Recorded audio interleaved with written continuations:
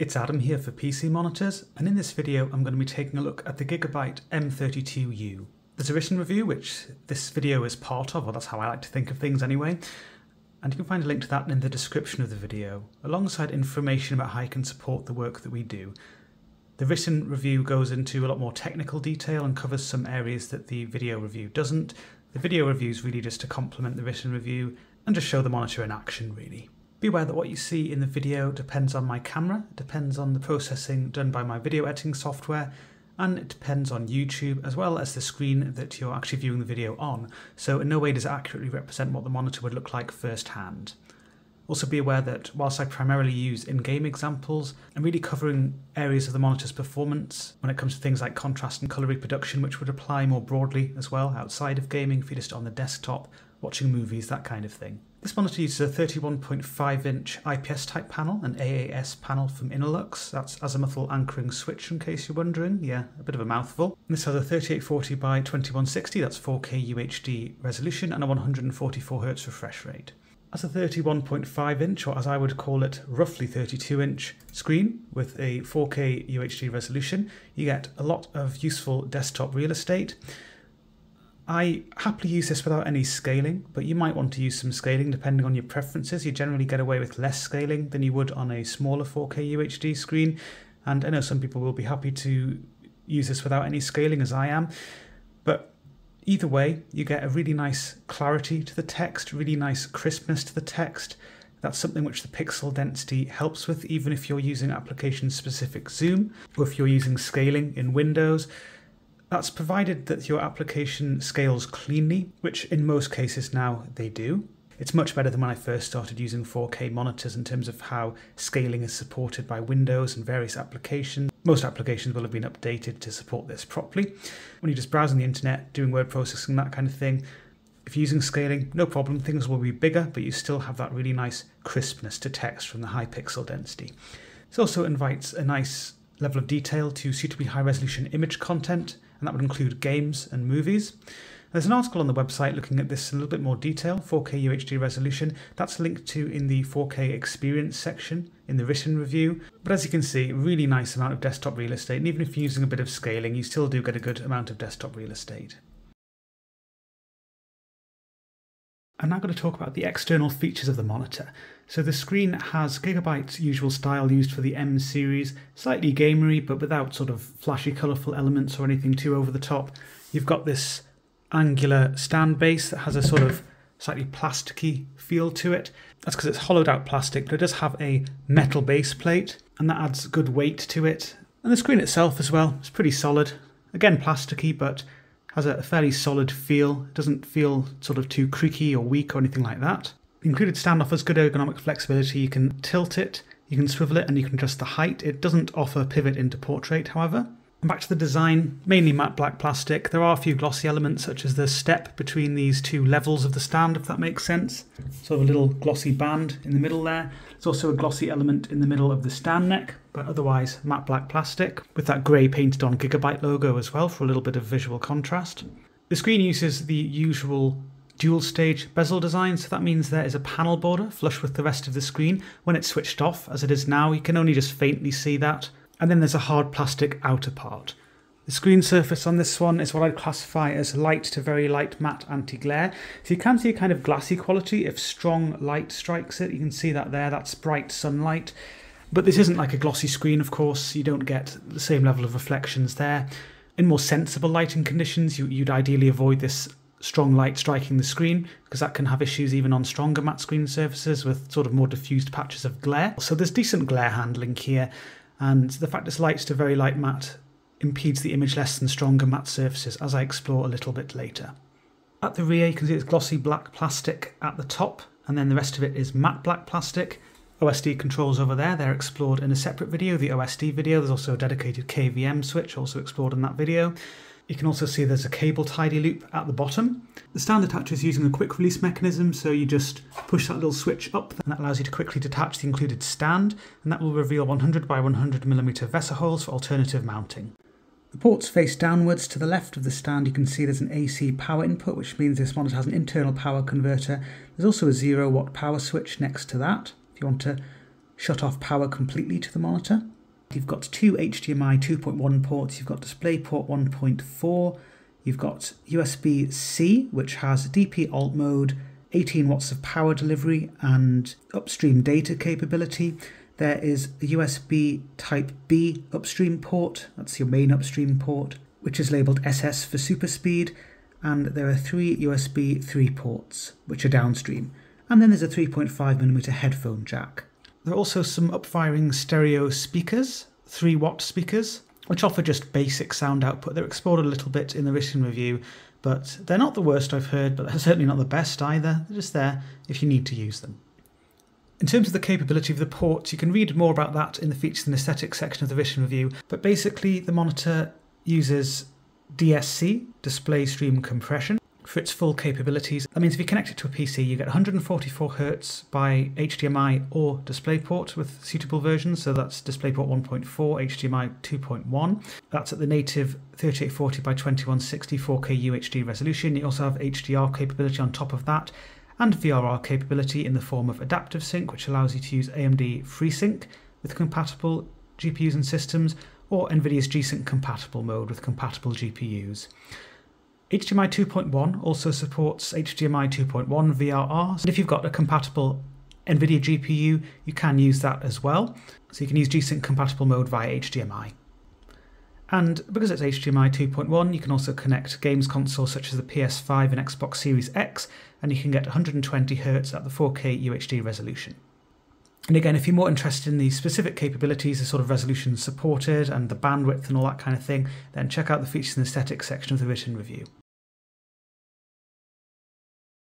I'm now on Shadow of the Tomb Raider and I'm going to talk about the contrast performance. This monitor has an IPS type panel, so contrast isn't its main strength. I measured around 1100 to 1 using my test settings. You can get a little bit more than that on my unit depending on the settings you use.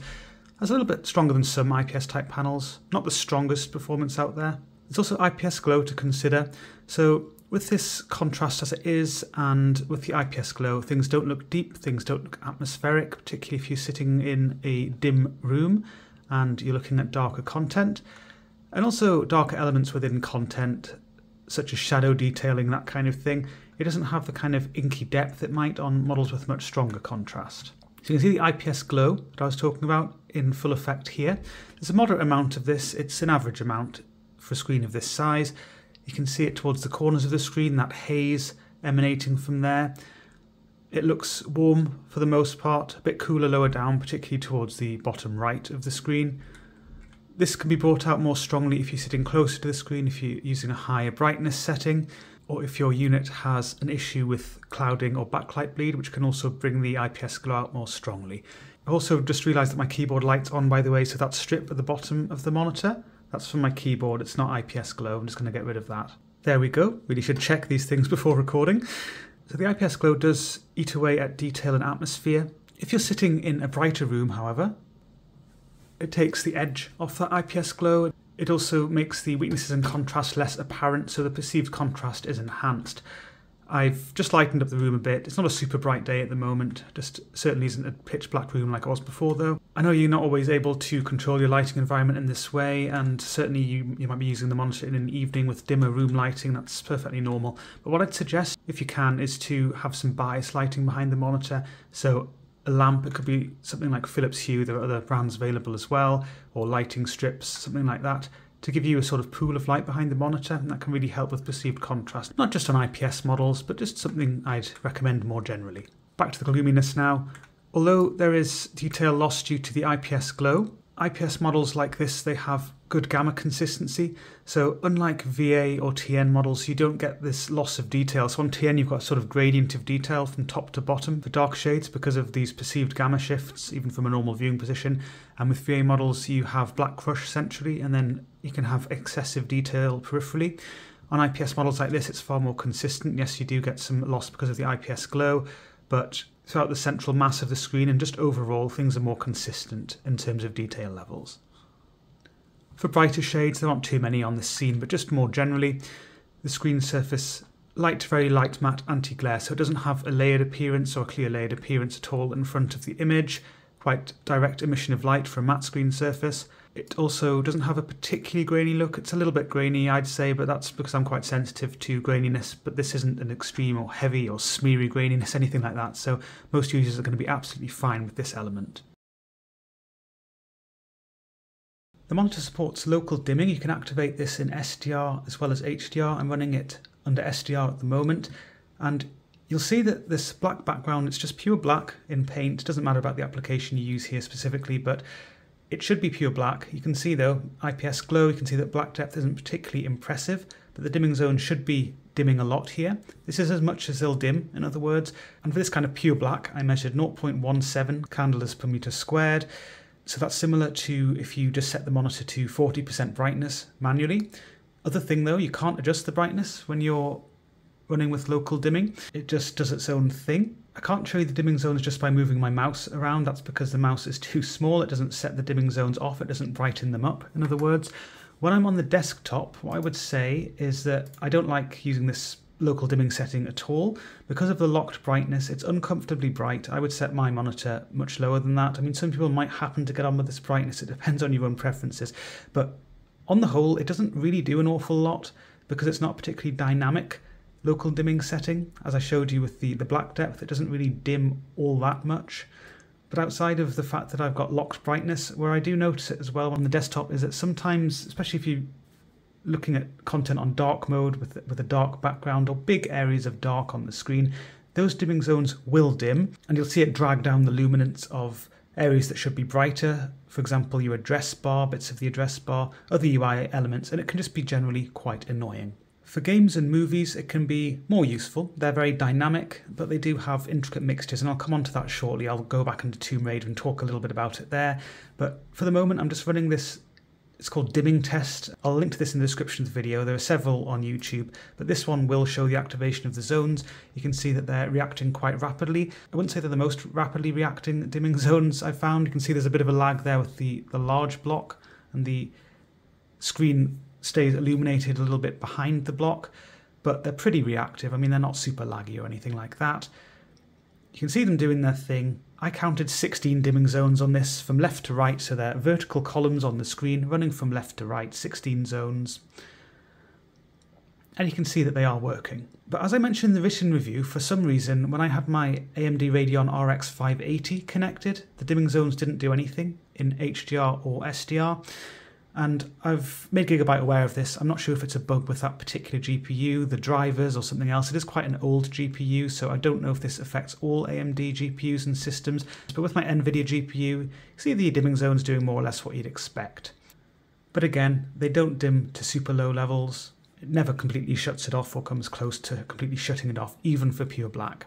I'm back on that same scene on Shadow of the Tomb Raider, and you'll see actually, although it's predominantly dark, there is a mixture, an intricate mixture of shades at the moment, some brighter, some medium shades, some darker shades, and you'll be able to see still that the depth of those dark shades isn't incredible. There's only so much you can do with 16 dimming zones, but also, as I've mentioned, they're not super reactive or super dynamic in this case, so it doesn't dim as much as it could.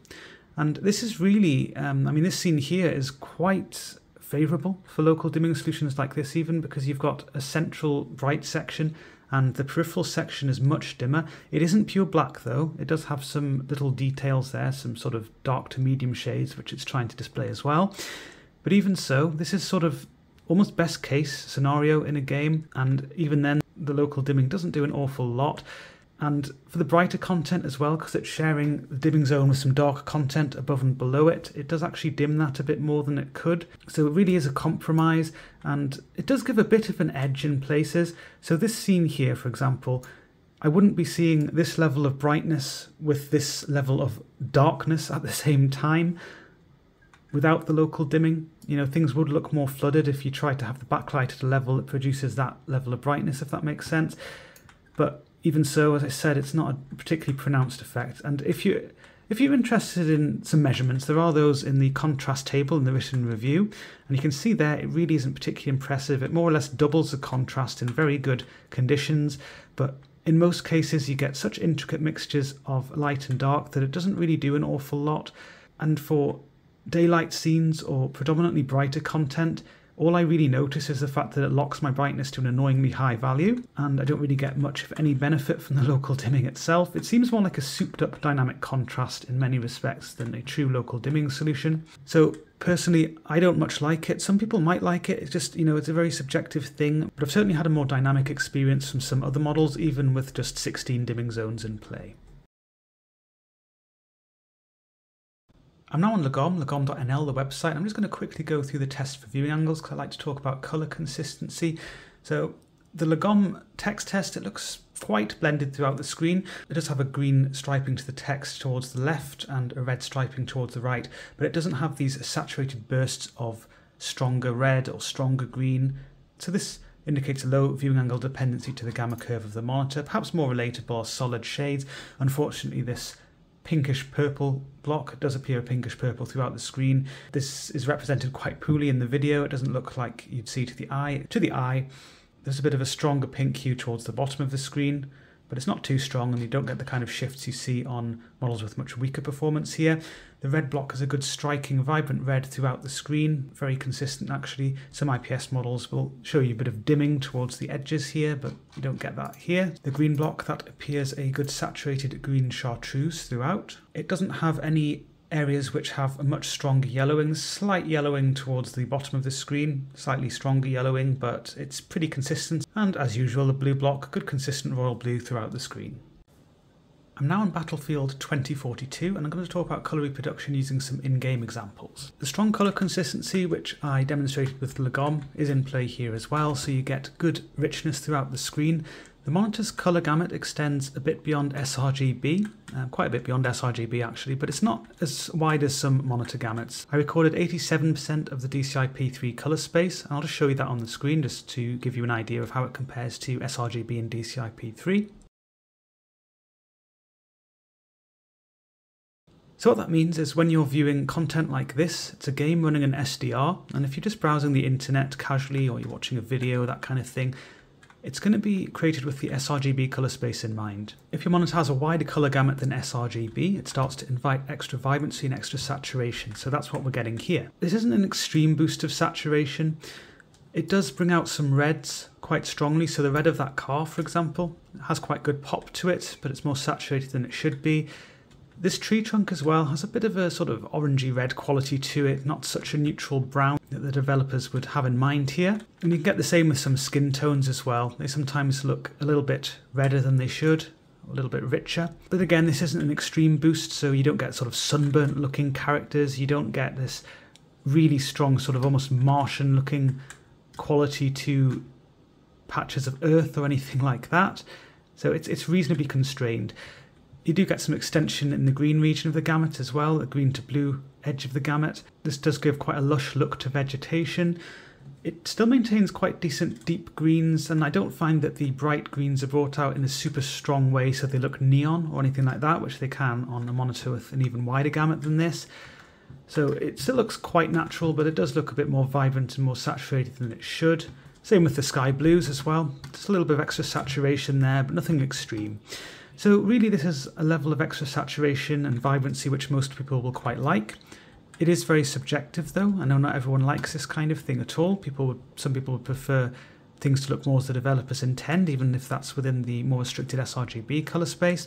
The monitor does offer an sRGB emulation setting, which I'm just going to activate now. So you set picture mode to sRGB. This gives a more muted look to things, it curtails the saturation, it clamps the gamut close to sRGB, and I'll just flash up on the screen the gamut tracking now. So you'll see there's a little bit of sRGB under coverage and a little bit of over coverage as well, but it's not too bad. The thing is that you can adjust brightness with the sRGB setting, but you can't adjust the color channels and you can't adjust gamma. And on my unit at least, the gamma tracking was a little bit odd actually. And you can see more about that in the vision review, but basically it, it does give an uplift to darker shades, so it gives extra detail. It shouldn't really be there for some darker areas and can make things look a little bit, perhaps a little bit flooded in places. It also affects some of the medium shades and makes them look a bit less saturated than they should be. Again, this is explored a bit more in the written review. But aside from this lack of flexibility in locking you into things like this, it also locks your overdrive control and sets it to Smart OD. You might be able to see the strange shimmering around the buildings there. I'm not sure if this will come across on the video, but to my eye I can see this very clearly. That is overshoot. And This is because the Smart OD setting basically just sets the overdrive to either the speed setting, which is ridiculous, or the balance setting, which is often too strong, depending on your refresh rate. For this reason alone, I think actually many people will quite dislike using this setting when they're gaming in particular. There's an alternative if you're a PC user, and I explore that in an article about sRGB emulation, which is linked to and also discussed a bit at the start of the colour reproduction section of the written review. So if you're interested in that way of obtaining sRGB emulation via the GPU rather than on the monitor itself, be sure to check that out. So I've just switched back to my test settings now, so the sRGB setting has been disabled. I would recommend, as I often do, you know, if you if you do do color critical work on the monitor, I mean the sRGB emulation, it might you might find it acceptable. I, I would sort of experiment with the GPU side as well if you can, but ideally you would be profiling the monitor with your own colorimeter or similar device and that would give you the best accuracy. You can use the full native gamut and then profile it from there. If you want to work within the DCI-P3 color space, to be honest, I don't really consider the DCI-P3 coverage good enough for that. You lose a lot of the more saturated shades there from the DCI-P3 space, and Adobe RGB, nowhere near. I mean, I discussed that in the written review. I can't remember off the top of my head what the coverage was, but you can definitely see that in the color reproduction section of the written review. I'm back on Shadow of the Tomb Raider and I'm running the monitor under HDR. I'm using an RTX 3090, an NVIDIA RTX 3090, but I did test using both DisplayPort and HDMI. It's very similar. I also tested with an AMD GPU. The reason I like to do that mainly is because games consoles will use AMD graphics hardware connected via HDMI, and I did test HDMI and DisplayPort on my AMD GPU, and things were a little bit weird under HDR because local dimming seemed to do absolutely nothing. As I said, it did under SDR, but again, that could have been related to my GPU.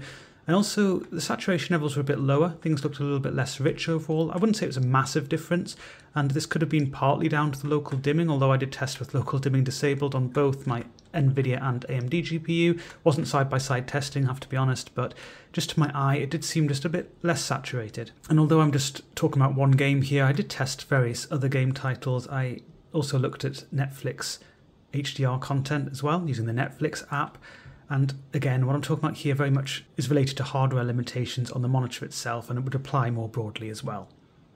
So under HDR, you'll see picture mode now it says HDR. Well, you might not be able to see that, depends on the camera, it can flood this out, but it says HDR there.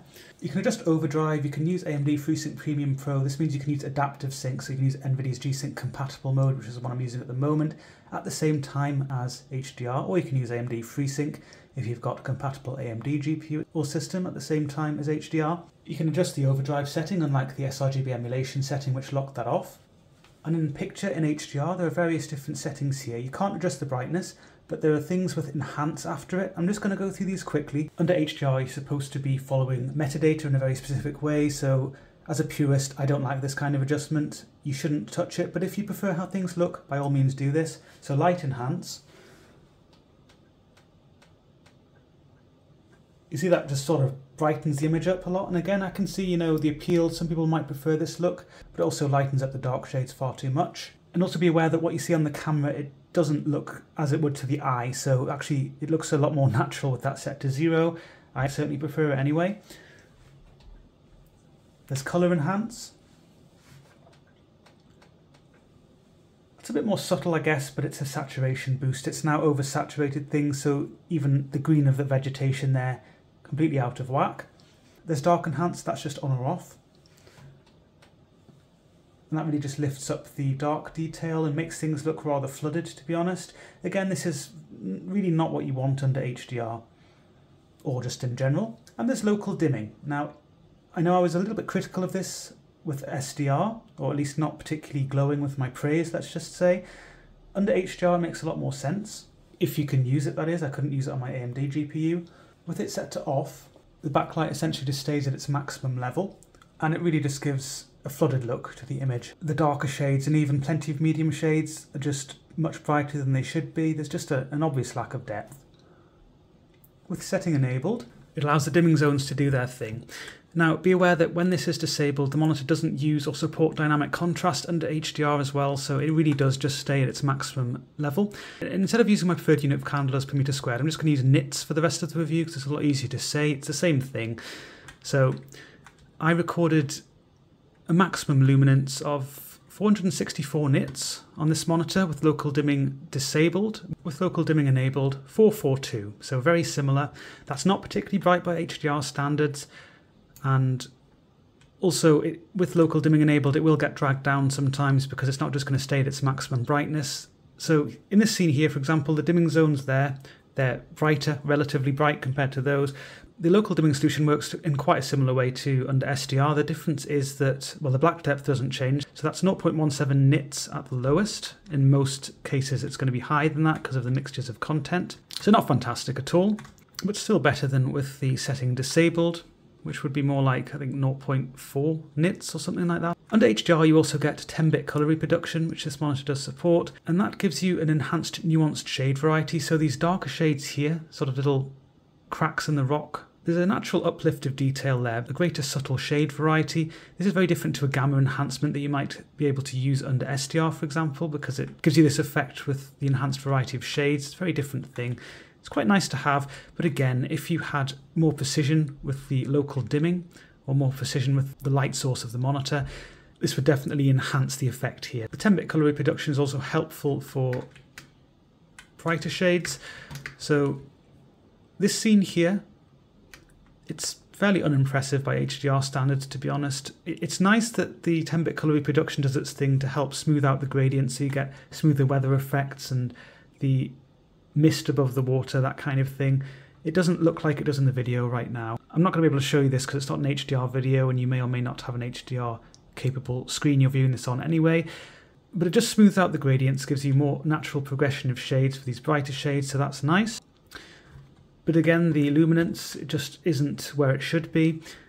The bright shades don't pop in the way that they can under HDR, and the darker shades aren't as dark as they should be or could be. But local dimming is again doing its thing here to at least give a bit of a situational edge and contrast. So the dimming zones here are quite a bit brighter than the dimming zones there. Because they're not super reactive and super dynamic, I suppose the good thing is that you don't generally become aware of the shifts in the zones because if you've only got 16 dimming zones as you do now arranged across the screen as large bands, if it's too reactive, that can actually become quite distracting. I didn't find it distracting on this model, even if I'm sitting in a dark room where this kind of thing can be noticed more readily. So it's good in that respect. I'm now on a different scene. I'm going to talk primarily about colour reproduction. So I didn't mean to sit down at the campfire there, pressed completely the wrong button there. And just before moving on to that, you'll see that there is an intricate mixture of shade depths here, and the precision just isn't there with the luminance control. So not only are the dark shades not as deep as they should be, plenty of the medium shades lack the depth they should as well, so things just don't look as rich as they could for that reason. The other aspect is colour gamut. As I mentioned in the colour reproduction section, I measured 87% of the DCI-P3 colour space. Now remember under HDR, it's not sRGB that's targeted anymore, it's DCI-P3 as the near-term target, and longer term developers will have Rec 2020 in mind. So the gamut here it falls some way short of complete DCI-P3 coverage and way short of Rec 2020. So the saturation levels certainly aren't as strong as they can be, but they're not too bad either. I mean, some fairly lush looking greens for Lara's dress here and the vegetation in the background. Because the developers are targeting wider colour gamuts like DCI-P3, the more muted shades don't have that extra saturation or oversaturation you get under SDR. So Lara's skin tone, for example, looks nice and neutral as it should. The fire there as well under SDR that can look a little bit over vibrant, so too much of a reddish orange hue. It looks more of a sort of vibrant yellow to orange here as it should. And there's a good neutrality to the brown shades as well, and the reds aren't overdone either.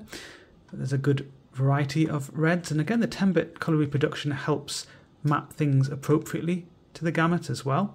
So there definitely are some advantages to HDR on this monitor compared to running in SDR, but it's far from a true HDR experience, not just in terms of the saturation levels, but certainly in terms of the backlight control and the dimming solution as well. I'm now on Battlefield 5, not Battlefield 2042, just for performance and consistency reasons, and I've got the game running at a solid 144 frames a second. You might be able to see that in the top right, the little green number there. It might be very difficult to see because it is tiny and the camera would have to happen to focus on that element perfectly. But anyway, I'm making the most out of the monitor, so it has 144 Hz refresh rate, and I've got the content running at a good solid 144 frames a second. So this 144 Hz refresh rate, it gives you more than twice as much visual information every second as a 60 Hz monitor, or indeed this monitor running 60 Hz. This gives you two main advantages. So the first thing is that it improves your connected feel. That describes the precision and the fluidity as you interact with the game world. It also helps to have a low input lag in terms of the connected feel. This monitor does deliver that as well. I measured around 4 milliseconds of input lag on this one, so that's not an issue. It indicates a low signal delay, which is the main element of input lag you feel, so most people should be very happy with that. The other advantage of this high frame rate, high refresh rate combination is that it reduces the perceived blur due to eye movement. There's an article on the website all about monitor responsiveness and a little bit of a summary about that in the written review in the responsiveness section, discussing perceived blur as a concept. But essentially, most of the perceived blur you see on a monitor comes from the movement of your own eyes as you track motion on the screen, and that is reduced as you increase your refresh rate and your frame rate. The other element of perceived blur comes from the pixel responses of the monitor, so it's important to have rapid pixel responses, especially at high refresh rates where the requirements for a good performance are increased. This monitor does well in that respect. I'm just going to show you some pursuit photographs on the screen with Test UFO. So a few things to take away from this. Firstly, I consider picture quality to be the optimal setting to use at 144 Hz and just generally at high refresh rates. I'll come on to lower refresh rates a little bit later. If you look at the images, you might think that balance is better, and in practice, you might consider that better. It just depends on your sensitivity to overshoot. But what I would say is that there was more noticeable overshoot for some transitions not shown with Test UFO using the balance setting, and I found this quite eye catching in places. So, for that reason, I prefer picture quality. Also, I include two reference screens. The first one there, the Acer XV282KKV, that uses the 28 inch version of this Innolux panel, the same as the Gigabyte M28U, and it performs very similarly to the M28U, and is a little bit faster than the M32U using its picture quality setting, using the optimal setting on the 28 inch models, but only slightly, as you can see from Test UFO, and that is something which I would say assessing a broader range of transitions as well. Most users are not going to notice this difference at all. It really is a slight difference, and the performance here with the picture quality setting really is very good. I also included the M27Q because that is a model which is quite a decent performer at high refresh rates, but not perfect, and it's still at a level which most users are perfectly happy with, yet the M32U outperforms that. So that's just to put things into context. This is a good 144Hz performer. The weakness is certainly on the minor side. That's what I call powdery trailing in places, just a little bit. It's generally where darker shades are involved in the transition where you might notice it a little bit. But to be honest, when you're just playing the game normally, I don't think you will notice it too much. And it doesn't add a lot of perceived blur overall, so it's probably not something that most people are going to register at all. So for the detail there and the darker shades there against the brighter bricks or the brighter sky, for example, some of those transitions are just slightly slower than optimal, and that gives you this little bit of powder trailing. It sticks close to the object. Sorry, I just realised my mouse cursor's in the middle of my crosshair there. Don't know what's going on there. Okay, there we go. So yes, it sticks very close to the object and it's much fainter than the object, so it really isn't a major issue in my view at all. There's really very little to complain about in the way of overshoot as well using this picture quality setting at these nice high refresh rates. It just, I mean, you know, there's a trace here and there, just a little bit. It's not eye catching, it's not really bright enough to stand out or dark enough to stand out against the background. So I wouldn't worry about this even if you're sensitive to overshoot. Again, if you're not too sensitive to overshoot at all, then perhaps try the balance setting because it does speed up some of the pixel transitions a bit, gets rid of some of this slight powdery trailing, but again, most people I think are going to prefer the picture quality setting anyway. I'm now in a different scene on Battlefield 5, and this scene has a lot of darker shades, so it shows these high contrast transitions, which VA models in particular are notorious for struggling with, but IPS models often struggle a bit with them as well.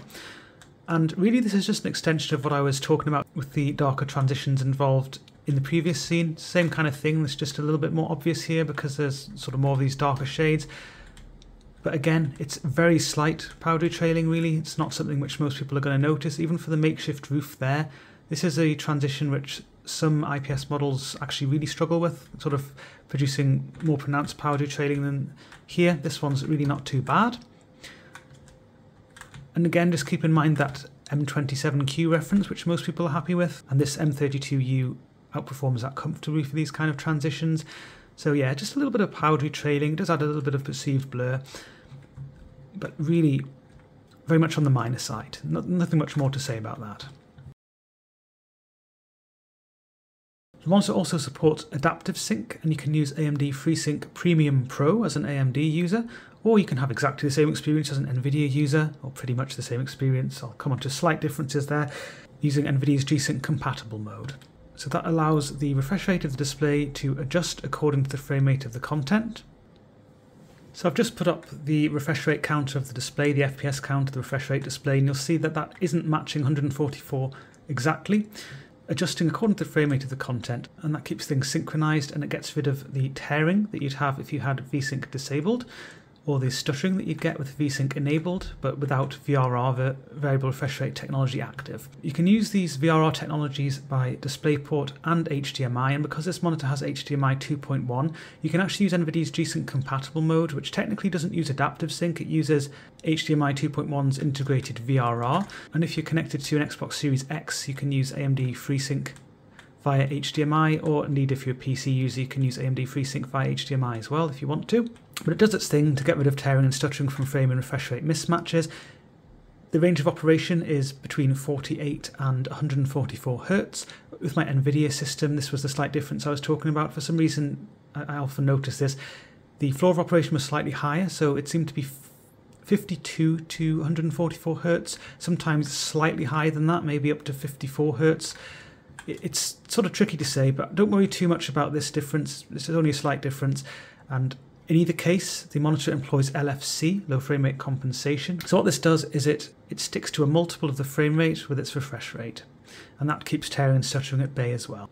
When you pass the LFC boundary, there is a momentary and very brief stuttering. It's not the same as the kind of stuttering you'd get if you had VRR disabled. It's really very slight. Not everyone will notice this. I do because I'm very sensitive to that kind of thing. So just be aware that if you're frequently passing the boundary and you're sensitive to it, this could be an issue. I've ramped up the graphics settings further, which is just to make my RTX 3090 sweat a bit more in this scene. And you'll see that the frame rate is now in the double digits, only just though around 90 frames a second or so, a little bit high, a little bit lower, depending on the fluctuations.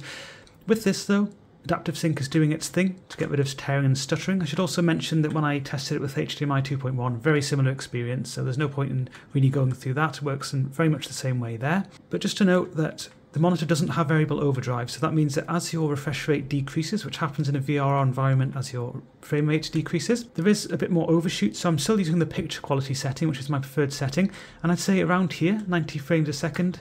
There's a little bit of overshoot, but it's really not too bad, not too eye-catching. I just stick to picture quality. And also around this level, picture quality does very well. The demands for pixel responses are quite a bit lower than they are at 144 Hz, for example. I've increased the graphics settings a little bit more, so my RTX 3090 is sweating a little bit more, a little bit below 70 frames a second now.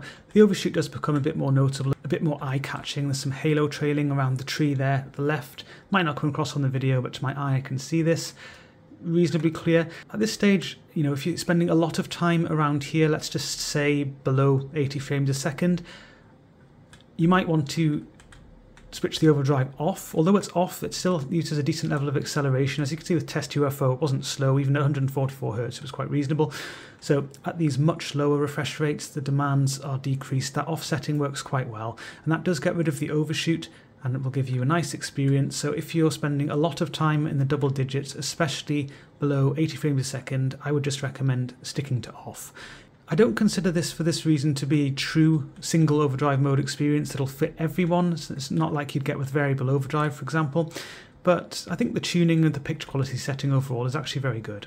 The monitor also supports a strobe backlight setting called Aim Stabilizer Sync, and they can use this with Adaptive Sync active or with HDMI 2.1 VRR as well. As usual for strobe backlight settings, this isn't something that I like to talk about or go through too much in the video reviews because all you see is annoying flickering. It's really too difficult to demonstrate the advantages. You just see all of the disadvantages or some of the disadvantages. But I do explore this in detail in the written review. So if you're interested in that, check that out.